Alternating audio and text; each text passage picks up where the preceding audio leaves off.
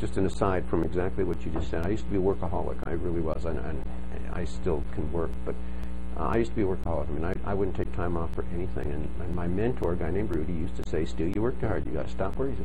And I, I was always well, if I slow down and working, I won't make as much money. He said, "No, no, no. It's absolutely wrong. If you slow down working, you'll make more money." And it just didn't make any sense to me. And finally, he just kind of beat me on the head and made me. He made me take holidays. He made me. I mean, I won. Uh, trips to Hawaii uh, in this company that I was with. I won trips to Hawaii for free. I, I, a week on a 108 foot yacht for free, and I wouldn't. I didn't want to go. I went, but I didn't want to. And he was the one who convinced me that I had to go.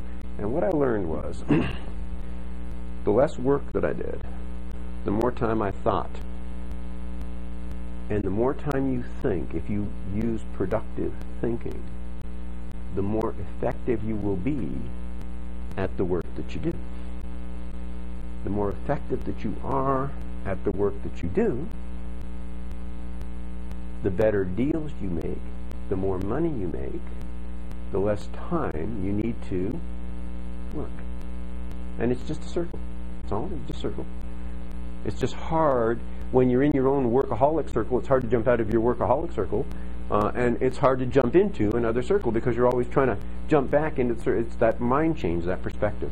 Uh, commission sales rep philosophy about, you know, everything I'm doing this week is, you know, for two weeks out. And if I stop this week now, I'm already a week behind. And, and, and if you and I, I, I did that. I used to sell law books door to door to lawyers. Tough Uh, but that was the commission. Knocking on lawyers' doors. It was you uh, condescending. The only thing that made it worthwhile for me was I made more money doing it than most of the lawyers I was selling law books to. So they would look at me in a condescending way, and I'd just go, "I'm just trying to make a living," and I'd make them feel good. And say, would you please buy this? And they would, and I'd walk, get out, you know. Uh, but but here, the the point that you're making is this. Uh, the, yeah, they were very expensive. But the point that I'm making is this. When you're in that kind of a business, the mentality that you're taught from the company level, head of the company, all the way down, is what did you do for me today? Isn't that true? Right. And so we begin, and that's right. Once you get your paycheck, you're fired. and if you want to work for us anymore, bring us some sales. Right. And you get into that mindset or that mentality, and you, you convince yourself that you need to do this stuff every day, and that's not true. Uh, one of the things I say to people all the time, and, and guys, if you ever learn how to do anything well, learn how to do this well, it'll make you money in everything you do, especially in the commercial arena, because there is thought involved in this arena. But if you learn to do anything ever well, learn how to stop,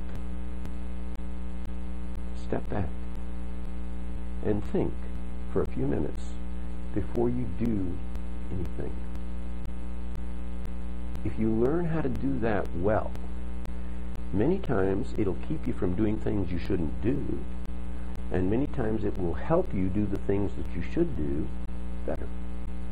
Okay, but most, how many people do you know who really stop and think, as opposed to just do and do and do?